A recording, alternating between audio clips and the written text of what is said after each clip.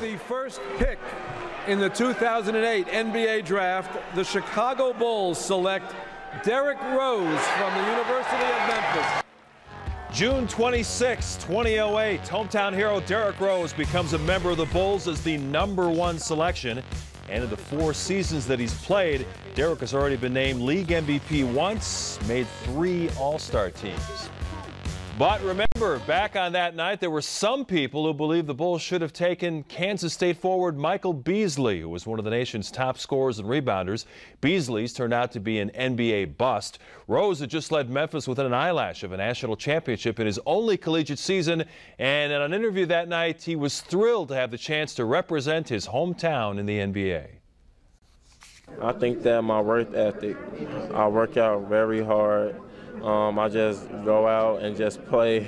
I play with my heart, and um, the veterans on the team, they're a young team. They're young veterans, really, and I could communicate to them, and they could talk to me, and uh, that's a great situation I'm in. It just completed the circle, really just playing now. I'm playing the highest basketball. I'm playing on the highest basketball level in my hometown. Man, that's amazing. If that's not amazing, I don't think what is. I thought LeBron James was the luckiest man, but just being there, just being in this position right now, I feel like I'm the luckiest.